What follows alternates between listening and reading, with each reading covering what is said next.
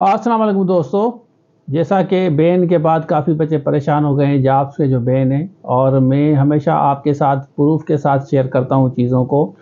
क्योंकि आप पूछते हैं कि सर, इस पे बैन है या इस पे बैन नहीं है तो बच्चे परेशान रहते हैं। आज वाली वीडियो में हम डिस्कस करेंगे पीएसटी जीएसटी वाले जो बच्चे हैं, स्पेशली जो वेटिंग लिस्ट में हैं, उनके बारे में डिटेल में शेयर करेंगे। तो आप इस वीडियो को पूरा देखें और दोस्तों के साथ ज़रूर शेयर करें।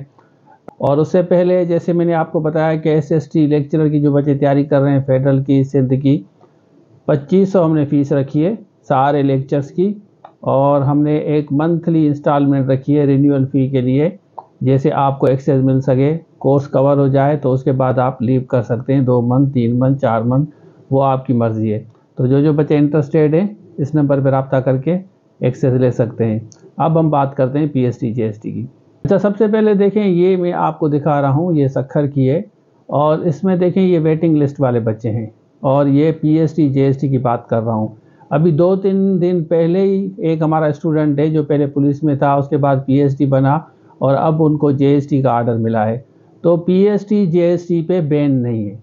जो भी बच्चे वेटिंग लिस्ट में है ना उनको टाइम टू टाइम आर्डर मिलेगा और 2025 तक गवर्नमेंट की कमिटमेंट है। जितने भी बच्चे वेटिंग लिस्ट में हैं 40 प्लस हैं, जो भी 40 जिनकी मार्क्स हैं, उनको आर्डर मिलता रहेगा। जैसे सपोज़ के किसकी डिमाइज हो जाती है, कोई रिटायर हो जाता है या कोई छोड़ जाता है तो तीन, चार, पाँच तरीके कार हैं। तो वेटिंग लिस्ट में आगे आते जाएँगे, उनको आर्डर मिलता जाएगा। कोई पीएसटी बन गया, उसके बाद किसी जेएसटी ने छोड़ दिया तो पीएसटी को जेएसटी की मिलेगी।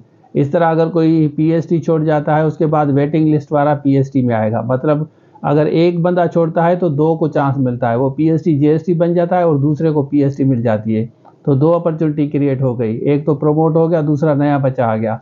तो पीएसटी जीएसटी वेटिंग लिस्ट वाले परेशान ना हो। ये बिल्कुल अथेंटिक न्यूज़ है, आपके साथ शेयर कर रहा हूँ।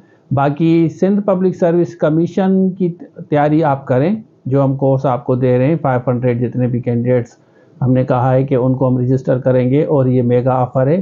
पच्चीस सौ आप सिर्फ़ देंगे और सारे लेक्चर्स लें, आराम से जाके उसके नोट्स बनाएँ टेस्ट दें, फिर आप हमें बताएँ।